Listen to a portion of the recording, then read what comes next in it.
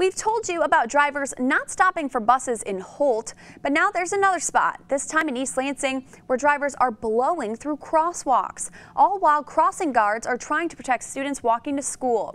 A crossing guard tells us close calls happen every week with drivers refusing to stop for her.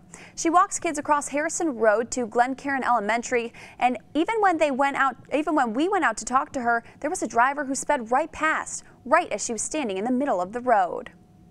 There was a car that um, I was standing in the middle, and a car was zooming past, and one of the dads threw his umbrella at the windshield.